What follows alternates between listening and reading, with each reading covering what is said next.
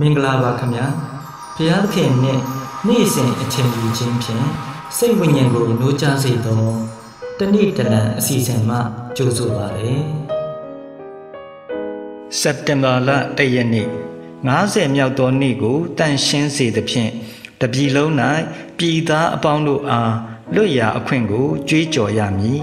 ယူပိလနှင့်ဖြစ်၍လူတိုင်းမိမိပိုင်သောမြေ မိမိအဆွေအမျိုးထံသို့ပြန်ရမည်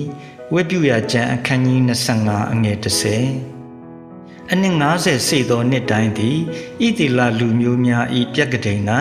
ယူပိလနှစ်အဖြစ်သိရသည် ထိုနှစ်တွင်လယ်မြေများကိုမစိုက်ပျိုးဘဲထားခဲ့ရသည်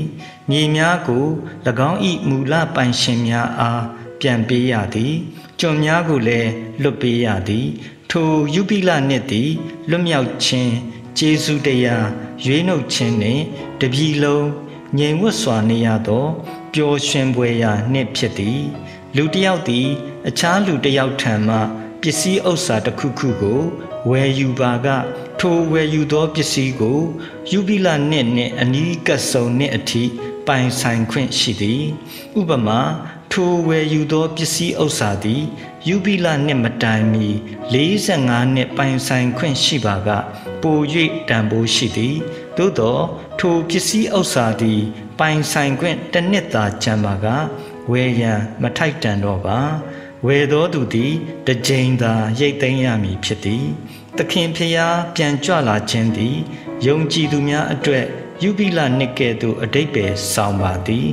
ယုံကြည်သူတို့သည် ထာဝရငြိမ်ဝတ်စွာနေရမည်ခမဲတော်ဤအိမ်တော်ထဲသို့ဝင်စားကြရမည်သူတို့သည်တေခြင်းဤချုပ်နှောင်ခြင်းမှလွတ်မြောက်၍ဘုံအတရေနှင့်ပြည့်စုံသောခန္ဓာကိုယ်ကိုရရှိကြမည်ဗန္နာဆိုးများအနေဖြင့်သူတို့အားအနံခဲ့သည့်အရာအလုံးကိုမူလပိုင်ရှင်ဖျားသခင်အားပြန်ပေးရကြမည်ထို့ကြောင့်ယနေ့ကျွန်ုပ်တို့ပိုင်ဆိုင်သောပစ္စည်းဥစ္စာများကို အကျိုးရှိရှိ အသုံးပြုမပြုစစ်ဆေးရန်လိုအပ်သည်ကျွန်ုပ်တို့၌ဒေါ်လာတန်ပေါင်းများစွာတန်သောခြံယင်းဤမြုံနှံမှုများနှင့်ဗန်၌အထာသည့်မြောက်များစွာသောငွေရှိကောင်းရှိကြမည်ယနေ့ခရစ်တော်ယေရှုကြွလာပါကထိုအရာများသည်ကျွန်ုပ်တို့အတွက်အချင်းဤသာဖြစ်သွားပေမည်ခရစ်တော်ပြန်ကြွလာမည်နေ့ရက်နီးလေလေထိုအရာများဤတန်ဖိုးလျော့လေလေဖြစ်ပါသည် ဆိုလိုသည်မှာကျွန်ုပ်တို့သည် ထိုအရာများကိုခရစ်တော်ဤသာသနာကျယ်ပြန့်ရန်နှင့်မရှိဆင်းရဲသားများဤဒုက္ခဆင်းရဲတက်တာစေရန်အသုံးပြုသင့်ပါသည်ယူပိလနှစ်ကိုတဘိုးခရာမှုတ်ခြင်းဖြင့်ကြိုးဆူအစပြုသည့်ဤတူခရစ်တော်ကြွလာခြင်းကို နောက်ဆုံးသောတဘိုးခရာမှုတ်ခြင်းဖြင့်ကြွေးကြော်ကြမည်ဖြစ်သည် CH Macintosh က ဤယူပိလအကြောင်းသည်ကျွန်ုပ်တို့ကို ကောင်းသောသင်ခန်းစာတစ်ခုတွင်တင်ပါသည်အကယ်၍ကျွန်ုပ်တို့၏နှလုံးသားများကသခင်ဖျားပြန်ကြွလာခြင်းကိုမျှော်လင့်၍ချစ်မြတ်နိုးကြပါကကျွန်ုပ်တို့သည်ဤလောကအရာများအားဖြင့်အလင်းကိုလင်းစေပါမည် ကျွန်ုပ်တို့သည်ခရစ်တော်ကြွလာသောအခါ